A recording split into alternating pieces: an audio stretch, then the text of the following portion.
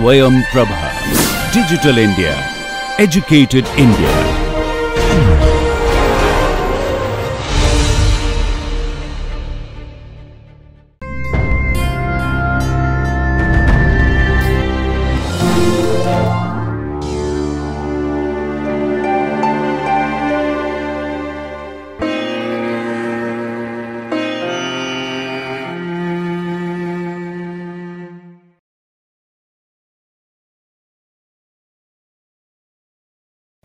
Hi, good morning. Uh, this is Dr. Bikash Medhi. I am professor in pharmacology, PGI Chandigarh. Today, we will discuss about uh, thrombolytic. As you know that uh, body has a defensive mechanism that whenever there is a injury, there is a bleeding occurs and the blood try to form the clot in order to stop the bleeding. So, you use various use word like thrombus, embolism, like once there is a clot formation occurs, then if it is goes in a circulation, you call it embolism. Now, in therapeutics, we use several drugs in order to dissolve the thrombus. If you see that drug that is used to lyse the clot, particularly you can take an example of thrombus formation in coronary artery vessels or any of these occluded vessels. Now, what happened? The thrombolytic it active it activate the conversion of plasminogen to plasmin and that causes hydrolysis of fibrin and ultimately it dissolve the clot. So, when you think that there is a converted plasmin by the cleavage of single peptide bond and this plasmin is relatively non-specific proteases. So, what happens in clot dissolution there is also reperfusion occurs in a higher frequency and when the therapy is initiated and you get a maximum efficacy when the therapy is initiated as early as possible. Because as the aging of the clot it start to become resistant to lysis. So, idea is to give the drug that as soon as that patient should reach within that window period, so that you can start the therapy and usually it is a parenteral therapy you give intravenously. So, basically you try to lyse the clot in the recanalized occluded blood vessels you can take for example, in a stroke or for example, in MI in coronary arteries. So, that is what we want to do it. Now, look at the mechanism of action of thrombolytic. now, as you can see that plasminogen is converted to plasmin so, you have various drug like streptokinase, you have drug like urokinase or alteplase tissue plasminogen activator. So, once it is inhibiting the conversion the fibrin there will be no formation of fibrin that they, there will be degradation of fibrin degradation product with the help of this drug we mentioned. So, you can classify this thrombolytic as you have an example of streptokinase the older one or urokinase. Then we have some of newer like tissue plasminogen activator like alteplase, Reteplase or Tenecteplase. So, these are the new drug which has been in clinical practice. Now, when you discuss streptokinase, it is one of the old first agent that was approved by the regulators. Now, this is a protein basically this is produced by beta hemolytic streptococci. And this beta hemolytic streptococci it is combined with a proactivator which is plasminogen, plasminogen and it form a complex. So, once this complex catalyze it converted to plasminogen to active plasmin, it converted into active plasmin. So, this complex is catalyzed the degradation of fibrinogen as well as clotting of factor 5 and factor 7. So, if you look at this that since it is uh, produced by beta hemolytic streptococci, so there is also chances of streptococcal antibody present in a past infection which inactivate considerably the fraction of dose given initially. So, if you look at the half life, it is 30 to 80 minutes. Half life is 30 to 80 minutes with streptokinase. It, this drug is infrequently used now in developed countries, but still it is in India if you see because it is affordable, it is has a lower cost and it is equally efficacious, it is very very widely used in Indian setup. Now, what are the adverse effects with streptokinase? Like it is produced, you have seen earlier that it is produced by beta hemolytic streptococci. So, this streptokinase is antigenic. So, you have to also think that when you give that is it person is hypersensitivity reaction there is a chances or one has to be very careful that there could be anaphylactic like reactions.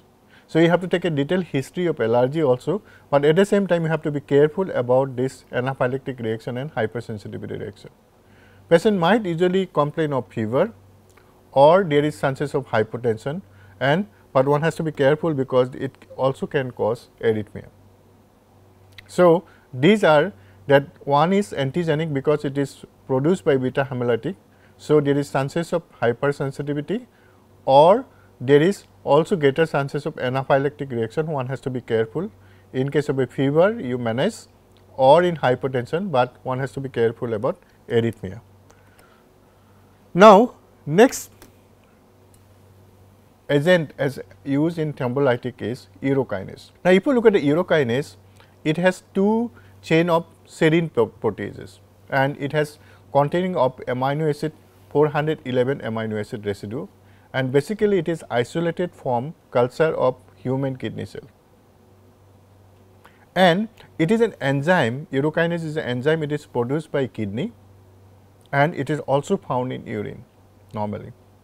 Now, what it does is it convert plasminogen to active plasmin. So, in that there is a cleavage of arginine valine bond plasminogen that yield the plasmin. So, basically it is not a clot specific, however, it has a half life is 10 to 15 minutes and advantage with urokinase is it is non antigenic. Like you have seen the streptokinase there is chances of hypersensitivity or chances of anaphylactic reaction and there is also greater chances of arrhythmia, but here this is non antigenic urokinase. So, urokinase is administered intravenously infusion and this is rapidly you know cleared by the livers. So, most of the time we use urokinase in case of pulmonary embolism. So, we frequently use this drug in case of pulmonary embolism. Now, coming to the newer therapy that we call it tissue plasminogen activators. Now, among these tissue plasminogen TPA you commonly refer it to is alteplase. Now, this tissue plasminogen activator is produced by it is a recombinant DNA technology and this alteplase has 527 amino acid. If you look back and see that originally it is actually derived from cultured human melanoma cell and this tissue plasminogen activator enzyme it has a property of fibrin enhanced conversion to plasminogen to plasmin. So, this has been produced limited conversion of free plasminogen in absence of fibrin. So, this is a new drug alteplase which is produced by recombinant DNA technology of 527 amino acid is most widely used now. Now, when this drug is introduced into the systemic circulation, what it does is it bind to fibrin in a thrombus and it try to convert the entrapped plasminogen to plasmin followed by activated local fibrinolysis. So, there is a process of fibrinolysis take place and limited systemic proteolysis also take place. So, that is how it act as a thrombolytic. So, it has a very short half life that is why we say that as early as the patient should reach the hospital there is a window period. So, that drug you get a maximum efficacy of this drug. So, it has that half life is 5 to 30 minutes and it is given by intravenously followed by it can be also given by infusion and basically it is also like urokinase it is non antigenic compared to streptokinase. Now, what are the side effect or adverse effect with this drug? You say this is most promising drug, but only thing is you have to give it within as early as possible. Now, one of the commonest adverse effect is bleeding. There is chances of bleeding that is from gastrointestinal tract or there is chances from cerebral hemorrhage also. Though it is non-antigenic, but there is also report of allergic reaction and particularly anaphylactic reaction one has to be very careful and it might cause laryngeal edema or skin rash. So, in case of laryngeal edema definitely patient will complain of breathing problem. So, you have to take a history that because there is chances of orolingual angioedema one has to be very very careful about this drug. So, though it is non-antiogenic there is chances of allergy or anaphylactic reaction or angioedema. So, one has to be careful about this drug. Now, what are the common conditions we use with tissue plasminogen activator is one is acute myocardial infarction MI we commonly use. Second thing is we use for ischemic stroke and third thing is as you can see that urokinase it is used in pulmonary embolism. This is also a drug of choice for it is used in pulmonary embolism. So, three condition we use is myocardial infarction, acute ischemic stroke not hemorrhagic because chances of cerebral bleeding is there or you use for pulmonary embolism. Now, another drug of tissue plasminogen activator is reteplase. Now, this is a recombinant tissue plasminogen activators like you have seen the DNA technology, recombinant DNA technology and it has also several amino acids in sequence and that has been deleted. Basically, it is compared to other tissue plasminogen activator, it is less expensive or it is less specific to tissue plasminogen activators and it is also given IV bolus dose is given and this drug is approved reteplase is approved for acute MI. In case of acute MI, we use this drug. So, you can use this drug in acute myocardial infarction. Now, another drug that is tenecteplase, it is developed in a recombinant tissue plasminogen activator. Benefit is it has a longer half life, but there is a greater binding capacity to fibrin and alteplase compared to other tissue plasminogen activator.